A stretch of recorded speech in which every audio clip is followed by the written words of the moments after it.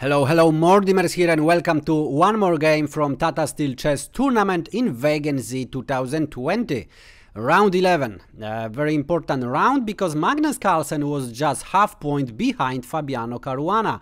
And uh, Magnus Carlsen actually drew his game against Jan Krzysztof Duda. So Fabiano Caruana can, you know, uh, get ahead much further than uh, before uh, and uh, if he wins this game that's gonna be huge advantage for him and he gonna probably uh, win the tournament. So that's something um, new for Caruana. He never won Wijk aan Zee tournament but Magnus Carlsen did it couple of times.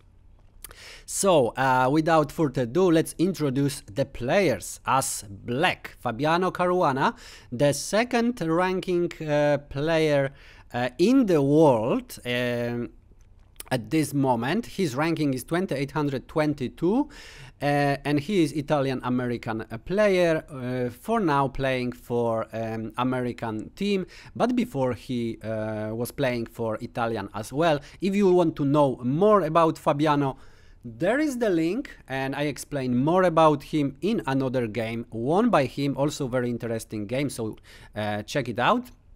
Uh, but uh, after this game, of course, and uh, at his opponent is a grandmaster from Belarus, Vladislav Kovalev, uh, 2660, that's his ranking. And last year in Wijk aan Zee, he won the Challengers tournament uh, with easy, so uh, now in Masters he had the chance to play actually. And as I told you, Fabiano Caruana is on the first place now, but uh, Vladislav Kovalev is in the uh, last place. So who is the favorite? Uh, I think you can, you know, figure out who is the favorite of this game. Uh, but let's see what actually happened on the board. We have e4 by Kovalev and e5, knight f3, knight c6 and bishop on b5. So Ruy Lopez on the board. a6, bishop a4, knight f6 and castle by white. And this is pretty standard for Ruy Lopez's Morphy defense. And here black could go for the most popular options for example a bishop on e7 uh, and after rook on e1 and b5 bishop b3 d6 uh, c3 and uh, castle and h3 taking the, the, the spot from the minor pieces uh, of black. Uh, this would be the the most common uh, position on the Ruy Lopez, uh, very well known, thousands of times uh, played, and as well, uh, it is also the most boring, as many players um, state that, that and, and, or maybe commentators or or even spectators. There is also another option, more open, like uh, knight takes on e4 and after d4 and b5 bishop b3 d5 we would have d takes on e5 and bishop e6 and this actually would be the open variation main line of the open variation. Open is always open. There are no issues with the development so uh, that would be another approach. But in this game, we just have b5, which is also quite popular move. Bishop b3, pretty standard. And here bishop c5, uh, still bishop b7 could be played, but bishop c5 is uh, quite aggressive and it seems like Fabiano Caruana want to win this game. And he played this, uh, of course, many times in his career already c3 by Kovalev, d6, pretty standard, and now we have a4. a4, uh, it's slightly uncomfortable move for black. Um, black, of course, can't stay with the rook here because after exchanging uh, after exchanging rook could take on a8 so have to do something about that and also um, taking is not an option after after taking uh, white would have very nice placed uh, light square bishop, which uh, would paralyze the the black position. So uh, not really great. Rook b8 was played by caruana. It's still pretty standard. Now we have d4 still the main line and bishop b6 we have a takes on b5 a takes on b5 and here knight a3 attacking this pawn. And this pawn actually uh, is never saved uh, the castle is the main line and white takes on b5. Uh, so white has advantage of one pawn, but uh, the position of black is very active. So now we have bishop on g4, but keep in mind that uh, this pawn is hanging. Uh, but of course it can't be taken because this bishop d5 and one of the knights gonna be picked so black would be the up the minor piece so that's not an option. This is why bishop g4 first. And here the main line and it's the main line for some reason would be bishop on c2 and now watch everything because it's quite important for rest of the game bishop takes on f3 g takes on f3 and here knight h5 that would be the main line. And after f4 and knight takes on f4 bishop takes on f4 and e takes on f4 queen g4 would be played. And actually this was played many many times and usually white stay much better and win most of the games. There are um, some draws but a lot of wins by white. So uh, this would be the main line how it should be actually played. But here we have rook on e1 first by um, Kovalev. So uh, it's not uh, not the main line, but still, of course, playable. Bishop on f3 was played. It takes on d4, that would be other line, which was not play on the top level, but uh, sometimes play also. So e on d4, it could be playable. For example, c takes on d4, knight takes on d4, and after knight takes on d4, and uh, bishop takes on d4, white would have to um, white are you know the bishop is under attack this tactics is also uh, important in this game because it's nothing for free. So bishop would take on f7 rook takes f7 and queen on d4 getting back the minor piece. Uh, bishop f3 now g takes on f3 and situation on the board is um, pretty okay for white uh, white stand slightly better have extra one pawn. So uh, very comfortable and uh, for white uh, Anand won in that situation. Uh, for example uh, in 2006 so the position is known and uh, not really e takes on d4 is not really preferable for black. This is why bishop takes on f3 and queen takes on f3 is not played often but let's see why it would be e takes on d4, c takes on d4, and after bishop takes on d4, we have attack on these two pieces. So uh, pretty uncomfortable. So for example, if knight takes on d4, then we would have knight takes on d4, attacking the queen, but also attacking, this is double attack on the on the bishop. So bishop would have to be sacrificed on f7 and uh, white would have to play with uh, minor piece down. So of course not really great. So knight uh, so bishop can't be taken here but uh, but bishop can play on a4 and actually after bishop on c5 uh, the situation could be uh, very complicated, but still playable for white. There is actually, I see actually one game in database where white managed to win, uh, but it wasn't on the on the top level, and uh, it's not really preferable for uh, for white. This is why mostly g takes on f3 is played. So that was in that position. Knight h5 by black. So very similar in very similar fashion. And now uh, it's very important here. Now we have, for example, um, if we have um, this continuation f4, uh, keep in mind that this bishop is not on c2 like before and it's uh, very important so we have knight on f4 now so in very similar fashion with uh, really it looks like slightly uh, slightly different slight deviation but actually it's not.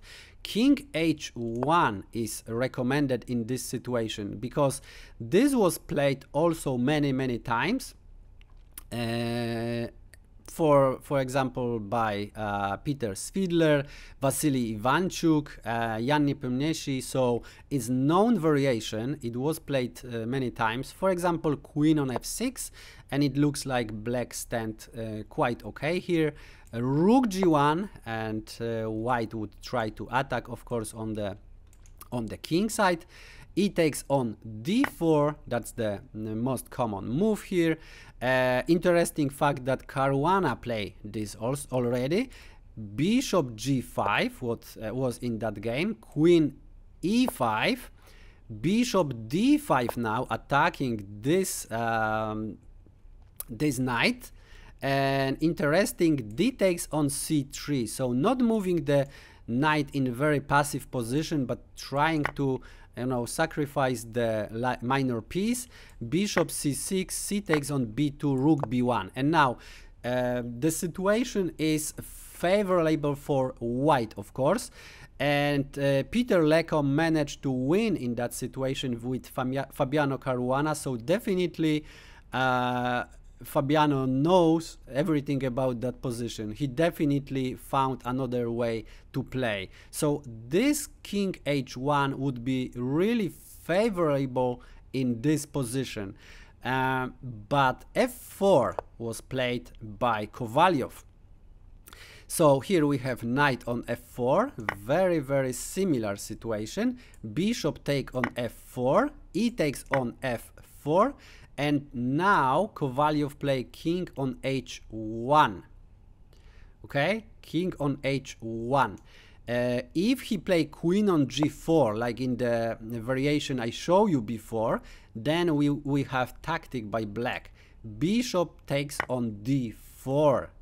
And now if knight takes on d4 and knight takes on d4, this bishop is under attack. So bishop, of course, have to take on f7 and after uh, exchanging here, c takes on d4. And uh, actually, black now stand uh, much better. Uh, at least uh, can pick up one of the pawns and be advanced in the pawn. But the end, but the game is still not end. It's still a lot to play. Uh, black stands just slightly better, but it's totally different than situation with the bishop on c2 so that was very important move in this um, in this opening. So uh, keep in mind like the slight differences in the opening way everybody is familiar already. There is a huge advantage for the player who who understand this much much better. So fabiano caruana has definitely much more experience here. Uh, king h1 was played instead because this uh, queen on g4 wouldn't work as well but here Caruana managed to play fantastic move. Of course uh, uh, there is still some uh, some attacking chances for for white so black has to do something about that and black play knight on e7 so uh, knight on e7 of course uh, next move gonna be knight on g6 defending this pawn but also uh, but also protecting the open and the open g file from attacks. So uh, white would have to uh, open the the king um, even more and spend a lot of moves uh, to construct any attack? So probably that would um, fail. Bishop on c2 now and uh, yeah bishop is going to c2 and uh, of course for the same reason we had before because of these tactics uh, so that's not really great for white. So bishop on c2 was played and knight on g6 um, as predicted. That was not difficult to predict. Of course the plan could be uh, e5 and for example queen h5 with some attacking chances on h7 but now this knight on g6 prevents from all of that. Now we have b4 uh, as the bishop moved to c2 b4 can be played to prevent uh, somehow at least try uh, this c5 move. And here Caruana play a very nice maneuver. First he kicked the knight from the active b5 square. So uh, knight of course has to go to a3 and then c5. So that is th that's the huge difference and interesting that it's still better for white to go back on b5. This knight is much more active here. So for example, c takes on d4, c takes on d4, queen d7 attacking this knight, but bishop a4 and there are no any nasty discoveries. Everything is fine. But it's difficult to say uh, who stands better by stockfish black stands better. But there are a lot of uh, possibilities for both sides to play. Queen can be uh, moved to h3 uh, also there are some tactics with this knight uh, but also uh, we have you know we have this some of these discoveries. Maybe maybe there would be some tactics if some more moves are done. Uh, so uh, situation would be very very complicated. Here b takes on c5 by Kovalev and that was probably one of the first um, big inaccuracies maybe even mistake uh, d takes on c5 and now we have um, attack on the center of white. On d4 we have three pieces attacking. So uh, and only two pieces defending. So uh, not really great for white. White has to do something about that. Maybe could push but also uh, knight on c4 could be played and Kovalev choose that option. So he want to eliminate, eliminate one of the attackers first. So we have c takes on d4, knight takes on b6, rook takes on b6 and now c takes on d4. And rook d6 by Caruana now. So pressure on the central d4 pawn uh, it's uh, very very strong and here the most the, the move which everybody would probably want to play is d5 d5 and after for example knight on e5 so black would just block the the advance and advancement of white. F3 could be played so consolidate this chain but actually white can't do anything more this bishop is very sad here. This bishop can't do anything on c2.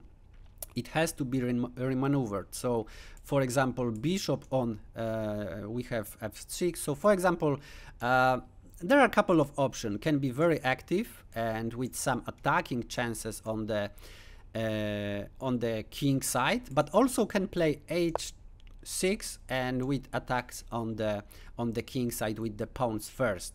So uh, for example bishop on d3 remaneuvering of course black are not interested in exchanging this wonderful knight uh, for this um, passive bishop. Uh, queen f6 could be played bishop e2 and now g5 rook g1 of course not allowing this uh, g4 attack. So king h7, rook a2, bringing the rook to the second rank, so can defend the uh, g2 and h2 uh, squares. And now black can actually pl play rook on c8, for example, and already threatening to come um, to the to the third rank and do some attacks. So queen d4 could be played to prevent, but then rook on b8 and still can, uh, you know, do the same. So white would have to maneuver a lot and black would just probably overmaneuver white. Uh, this is why uh, Kovalev actually didn't want to have that fate. So he played rook on a4, defending this d4 pawn. But now we have knight e5, so bringing one more attacker, uh, because now this knight of course can't be taken, but this knight can be moved to c6 and attack the d4 pawn again. So we have f3 consolidating, so of course um, that is uh, okay move and now knight c6 as planned and now we have uh, and now we have three attackers here on the d4 what to do now? Uh, the computer say actually d5 would be the best and but we would land with the same uh, option. So for example queen on f6 of course the knight can't be taken rook g1 bringing the the rook to attack knight e5 and we would have very similar situation.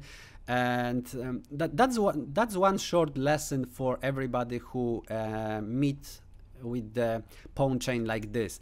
Pawn chain always can be blocked. And if you and of course the the pawns are the best blockers but sometimes the pieces has to block. So the best uh, pieces uh, for blocking are the pieces which are very elastic so for example they can do something uh, knights usually are great because they can attack and control a lot of uh, squares around. So very active piece and still can uh, cause a lot of threats. Uh, rook in this case, rook is usually not a great um, blocker, but in this case, rook can be moved and actually brought to, to attack on the G or, or H file. So also can be very dangerous here. And uh, yeah that's the that's the probably mm, the best uh, idea for white. But it would be very difficult to play that against against black. Uh, so Kovalev decided for e5 uh, e5 exchanging as many pawns as possible and try to draw this way. Uh, but now we have rook on d4, rook takes on d4, and th that's a little trap. For example, in if queen want to take on d4 uh, and exchange the queens, uh, then actually black would lose one more pawn because this uh, little tactic uh, after g6 uh, white would take on c6 so now there is no advantage for for black and uh, probably white would have quite high chances to uh, to draw that game. Uh, so of course Caruana takes by knight. Uh, and here bishop on e4 was played and but it's difficult to say what play Rook e4 looks very attractive, attacking the pawn and attacking the uh, the knight, but it, it just look attractive. For example, knight e6, exchanging the queens on d8, and now bishop b3, attacking the knight. Uh, so removing the defender would give uh, access to the f f4 pawn, but now rook d4 could be played. And after, of course, rook d4 is, is not really great because knight d4, uh, bishop d5, uh, king f8, let's say king g2, uh, knight, let's say c2, just trying to fork, let's say. Uh, king f2, of course, knight b4, so bishop on c4, staying on this diagonal, uh, as the king would not couldn't go for for this pawn. That would be of course winning for black. Uh, but still king e7 and now there is another threat to just pick up this uh, this pawn on e5 so um, e6 f takes on e6 and of course easy win for white. So that was not an option. So uh, for example rook would have to go on e2 first. But after rook on d3 uh, bishop takes on e6, f takes on e6, and king g2, the situation is also in favor of black. Uh, very easy win. uh, probably can pick up the, the this, this pawn uh, very easy this way uh, and uh, and white doesn't actually have any any counterplay. Uh, white are pawn down, and the situation is totally passive. So uh, it just looks so good, but the move is is really not not so great. So not rook on e4. This is why Kovalev play bishop on e4. And here we have queen on h4. So um, that was for a long time the threat. So now queen uh, on h4. We have rook on g1. Of course, uh, queen can take on d4 because the rook would hang. So rook on g1 first. Uh, but now we have rook on d8. So there are some, of course, some threats here. Uh, so queen move to f1 from the harm way of the discovered attack. And here, very silent, very calm move g6. White has nothing to do here. Rook g4 was played, so uh, Kovalev thought, okay, I'm gonna lose this pawn on e5, so let's just take this pawn on um, on f4 instead. maybe that's my chance. Uh, queen e7 was played, rook f4 as planned, and now queen takes on e5. Uh, this pawn, of course, uh, couldn't be defended. There was um, really great job done by this f4 pawn for whole of the game. And now we have rook on h4, like uh, rook was attacked, of course, so has to move somewhere.